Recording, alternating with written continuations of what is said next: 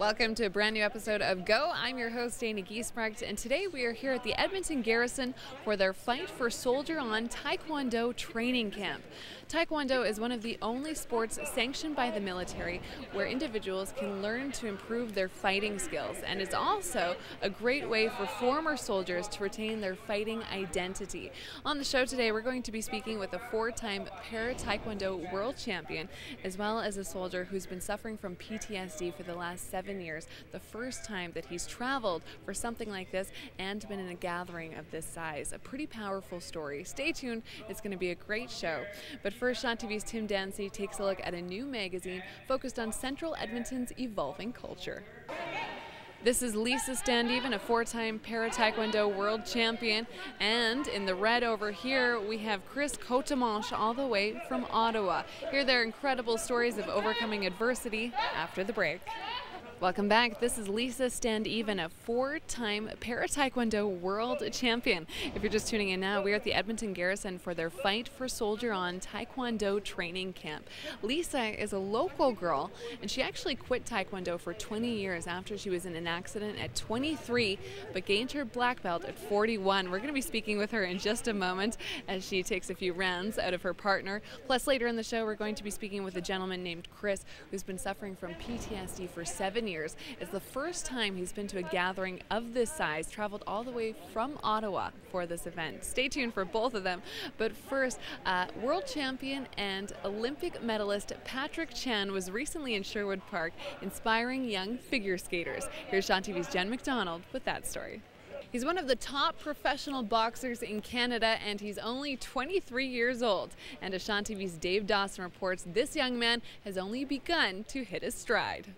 Thanks for that, Dave. We are now joined by Lisa Standeven, a four time para taekwondo world champion and an Edmonton local. I love it. Uh, but you're not part of the military. You came out just for this event today. That's correct. Uh, Master Kim, Captain Kim, invited me out uh, because of my experience in uh, some World Para Taekwondo Championships and to help uh, foster the Soldier, Soldier On program here at the base. And how's it been so far today? It's uh, it's amazing. It was really tough. These guys are these are tough individuals. let me tell you.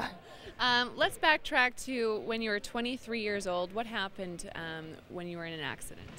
Uh, I worked on uh, heavy equipment, uh, and I was servicing a D8 cat, and I got my hand caught in the fan, and uh, it it essentially just peeled away um, most of my hand and and uh, left me with an unabbreviated limb, so to speak. And before that, you were very involved in Taekwondo in, in your late teen years. Yes, yeah. I started Taekwondo when I was 17, and uh, uh, I, I kept going until my accident when I was 23. And then you took a break for 20 years. What brought you back to the sport? Uh, well, I had three kids, and my husband and I felt it was it was important for them to learn a self-defense. So we went back so that they could learn and caught the bug again. Yeah four-time world champion. That's absolutely incredible. Um, what kind of hard work did you put into this sport to be able to achieve such an accomplishment? Um, I spent about five years uh, earning my black belt, and then uh, when I had the opportunity to travel uh, to world uh, world championships, I started training and uh, worked with a lot of people in in the taekwondo world, and I had a lot of friends, a lot of helpers, a lot of people that came and sparred with me, and I spent a lot of mornings and evenings uh, on the mats and in the gym. Well, absolutely incredible. Congratulations, Lisa, and thanks so much for speaking with us. Thank you. Stay tuned. More after the break. Welcome back. If you're just tuning in now, we are at the Edmonton Garrison for their Fight for Soldier On Taekwondo training camp. The Soldier On program is a pretty incredible program.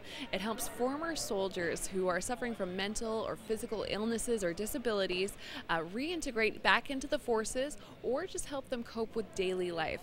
we're going to be speaking with one soldier from that program. This is Chris Cotemanche, all the way from Ottawa. He's come to Edmonton for this Taekwondo training camp specifically. He's been suffering from PTSD for about seven years, and this is the first time in, in a couple of years that he's been to a gathering of this size. And he says that it's made him feel absolutely amazing to be part of a team again. We're going to hear his story in just a moment. But first, we've all heard of roll up the rim. What about roll up the sleeve for a good read? Here's Shaw TV's Bianca Jade.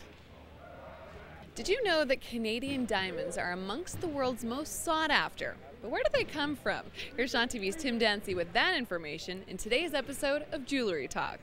We are now here with Chris Cotemanche, all the way from Ottawa, participating in the Soldier On Taekwondo training camp. Uh, and this is a, a, a, an incredible experience for you. You've been suffering from PTSD for seven years now. Before we, we get to your journey here, can you talk about where you've come from with your time in the military? Well, I've deployed back in uh, 2007 to Afghanistan. The following year, I was deployed with the DART uh, in Haiti uh, to help out the, the, population over there. Then went back to Afghanistan in 2010 and Haiti again in 2010. So it's been a, a roller coaster of deployments and, and missions all over the place. Um, in the last seven years that you've been suffering from PTSD, can you describe what some of your symptoms are like? Well, for the first few years, actually, for, for the most part of those seven years, I didn't realize, and nobody realized that I, I was suffering from PTSD until, until some of the symptoms became very obvious. Uh, hypervigilance, anxiety, uh, recurring nightmares, uh, flashbacks. I'll walk down a street and a sound or a smell or something will trigger uh, the anxiety or a flashback.